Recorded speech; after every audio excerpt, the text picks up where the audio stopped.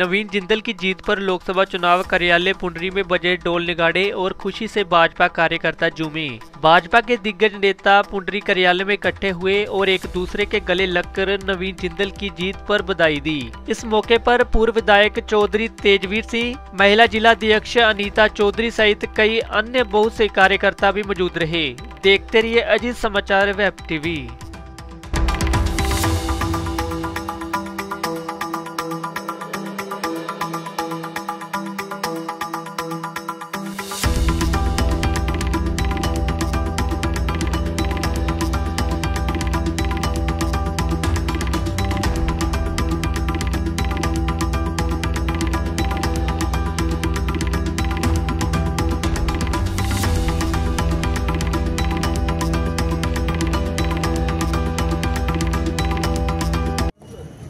नवीन जिंदल जी की इसके बारे में आप क्या कहेंगे जी?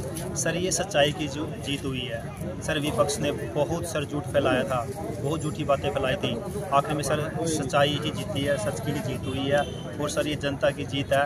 वाक्य में लोग चाहते हैं कि अपना देश आगे बढ़े देश तरक्की करे और सर तभी ये जीत हुई। है ठीक है जी धन्यवाद जी। नमस्कार मार्टिन जी। जी नमस्कार ये भारतीय जनता पार्टी की जीत हुई है नवीन जिंदल जी की।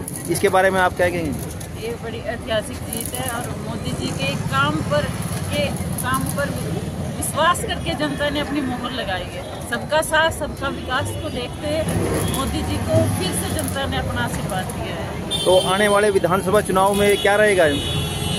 फिर से बीजेपी की सरकार बनेगी। भारतीय जनता पार्टी पूर्ण बहुमत विधानसभा में भी फिर से अपनी सरकार बनाएगी। ठीक है जी धन्यवाद।